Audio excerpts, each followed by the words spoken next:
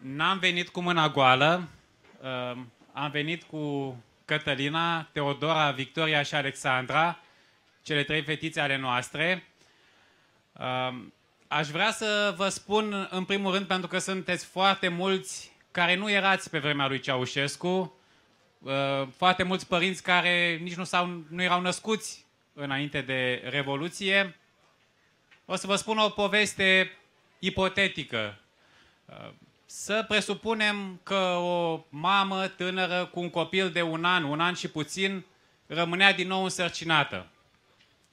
În acele vremuri era complicat să ai al doilea copil. Societatea era de așa natură încât uh, drama prin care trecea femeia în societatea românească era una foarte, foarte puternică.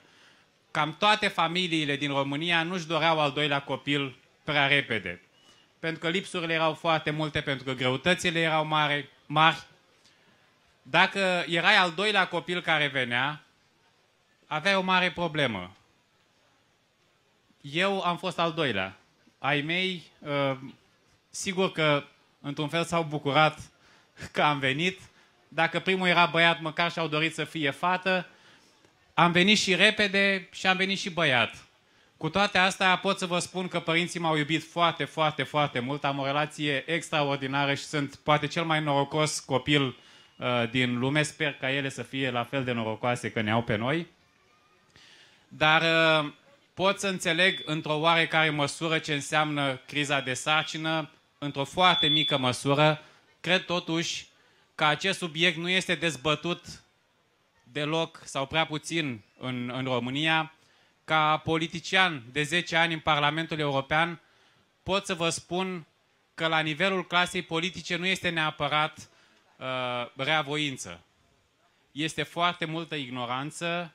Uh, e un subiect care nu se discută, despre care nu se știe. Eu am aflat de curând despre aceste probleme și adevărata lor uh, încărcătură emoțională și drama prin care trec milioane de femei am aflat și am ales să mă implic. Aveam alte preocupări, eram pe zona economică, mă luptam uh, cu corupția, aveam alte teme, dar credeți-mă, nicio temă astăzi, în lumea în care trăim, nu este mai importantă decât tema crizei de sarcină.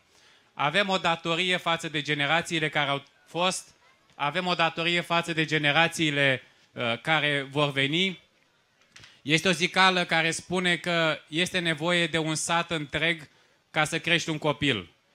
Este nevoie de familie, este nevoie de prieteni, este nevoie de noi toți, de fiecare din noi în parte, ca cei nenăscuți să vină pe lume și să facă o lume mai bună. Am organizat pentru prima dată în Parlamentul European, Copiii merg în Parlamentul European. A fost o ediție reușită dar uh, e mai puțin important. Mai important este că acest eveniment va deveni tradiție. E mult mai important că în fiecare an acest eveniment va avea loc. Este și mai important că vom încerca și vă asigur că vom reuși să punem aceste subiecte pe, pe agenda dezbaterilor europene. Până acum am tot reacționat la altfel de teme false.